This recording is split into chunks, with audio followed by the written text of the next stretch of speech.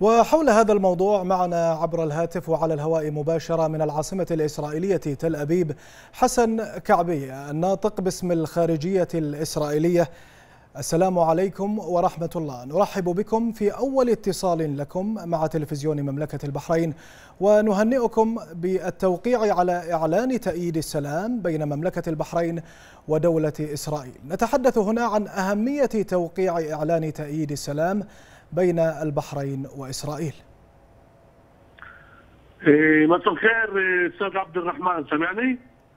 أسمعك بوضوح تفضل اولا أشكرك وأشكر تلفزيون البحرين على مضافتنا وإن شاء الله الحبل على الجرار زي ما يقولوها بالمثل العربي إيه، نصير تقرب أكثر بالنسبة للإعلام. اولا إيه، أنا موجود بمدينه حيفا إيه، في شمال إسرائيل اللي بسموها عندنا في إسرائيل هي مدينة عروس البحر. اولا آه، صديقي عبد الرحمن نرحب بسلام الشجعان بقيادة آه، ملك البحرين حمد بن عيسى الخليفه الله يطول عمره هذه نعم. اتفاقيه بيننا وبينكم بين البحرين وإسرائيل هي اتفاقية آه، ذات إنجاز كبير للعرب للبحرين ولإسرائيل وهذا يوم تاريخي اللي يؤدي تغيير كبير ليس فقط للبحرين ولإسرائيل ولكن للشرق الأوسط بأكمله.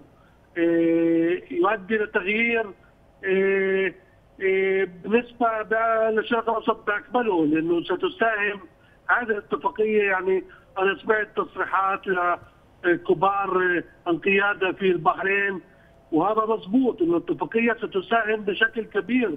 في تحقيق السلام والاستقرار والأمن وهذا نعم. كمان إحنا في إسرائيل نامن في الاجتهاد إنه السلام مع الإمارات العربية المتحدة ومع البحرين سيحقق الاستقرار والأمن في المنطقة نعم كما ذكرت أستاذ حسن يعني هناك أمل كما ذكرت في بداية الاتصال أن هناك املا بأن تنضم المزيد من دول المنطقة إلى اتفاق السلام هذا مع دولة إسرائيل لتعزيز الأمن والاستقرار في المنطقة والعالم، ما هو الأثر المترتب من توسيع دائرة الأطراف الفاعلة في منطقة الشرق الأوسط على الدفع قدما بعملية السلام في المنطقة؟ إيه، صديقي عبد الرحمن دولة إسرائيل تسعى كثير تحقيق سلام حقيقي مع جيرانها منذ قيامها من 1948 إيه، على أيام جولدا ماير أول رئيسة حكومة لإسرائيل.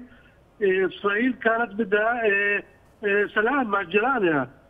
صنعت السلام مع الأردن ومع مصر في عام 79 في أيام السادات وبيجن والمرحوم رابين إسحاق رابين والملكة الحسين مع الأردن. وأعتقد إن هذه الاتفاقية آه، ستزيد من وحدة الفهم بأن الوقت قد حان للمضي قدما وأنه يجب ألا نبقى عالقين بشكل دائم في الماضي يا أخي.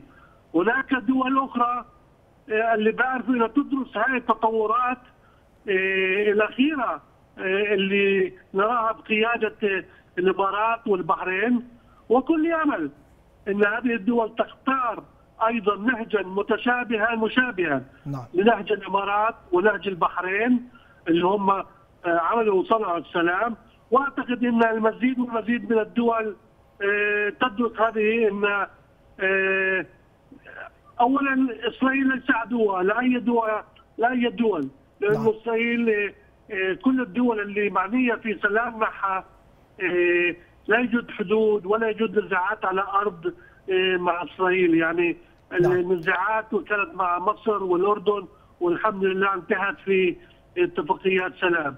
إيه، وإحنا بدنا نكون كل هذه الدول تكون شريكا إيه، متفاهم لكل المصالح والتطلعات المشتركة في منطقة الشرق الأوسط. نعم كما ذكرت في البداية أن هذا الاتصال هو أول اتصال لكم مع تلفزيون مملكة البحرين وبكل تأكيد لن يكون الاتصال الأخير لأن رؤية سيدي حضرة صاحب الجلالة الملك المفدى أيده الله ورعاه تؤمن بأهمية الحوار والتفاهم للوصول إلى الأهداف المشتركة بيننا جميعا لتحقيق الأمن والاستقرار في المنطقة والعالم. السيد حسن كعبية الناطق باسم الخارجية الإسرائيلية كنت معنا من العاصمة الإسرائيلية تل أبيب. شكرا جزيلا لك.